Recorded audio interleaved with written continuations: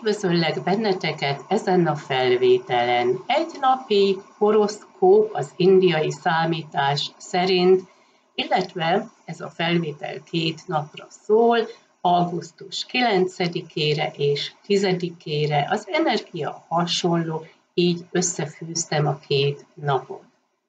Az indiai asztrológiában vannak az úgynevezett jogák, és ez kapcsolatokat jelent. De vannak más jogák is, mint például az ujjaink jogája. És én most mutatok egy új gyakorlatot.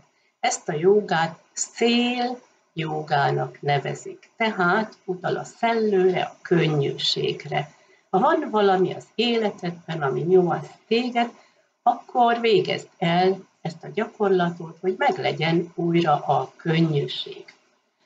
A mutató ujjat ide tesszük a hüvelyk új aljára, és a hüvelyk ujjal ezt így átöleljük. A középső új, a gyűrűs új és a kis új kifele mutat. Így tarthatod a kezedet. De lélegezhetsz is. Belélegeznél kicsit összenyomod, kilélegeznél kicsit elengeded a mutató ujjat és a hüvelyk ujjat. Készítheted mindkét kézzel. Tehát belélegzés, kilélegzés, így elengedünk olyan dolgokat, ami nyomaszt bennünket.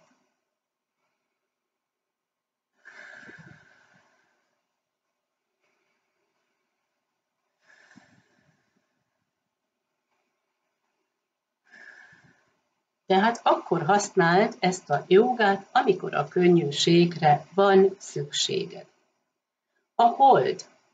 Az indiai számítás szerint a nyilas jegyében van, és kihat a napjainkra. Itt utazásokról van szó, külföldi kapcsolatokról. Ez az utazás lehet egy belső út is, mint például egy spirituális terület. A hold az a pulvassad a holdházban van, ami győzelmet jelent, de azt is, hogy a napokban tisztázódik valami. A hold a nyilas jegyéből hat, a tűz eleméből. Mars bolygó az a kos jegyében van, szintén a tűz elemében. Itt van egy jó kapcsolat a Mars és a hold között, ami különösen a férfiakra hat ki. Mars bolygó a határon van, és hamarosan áttér a bika jegyébe.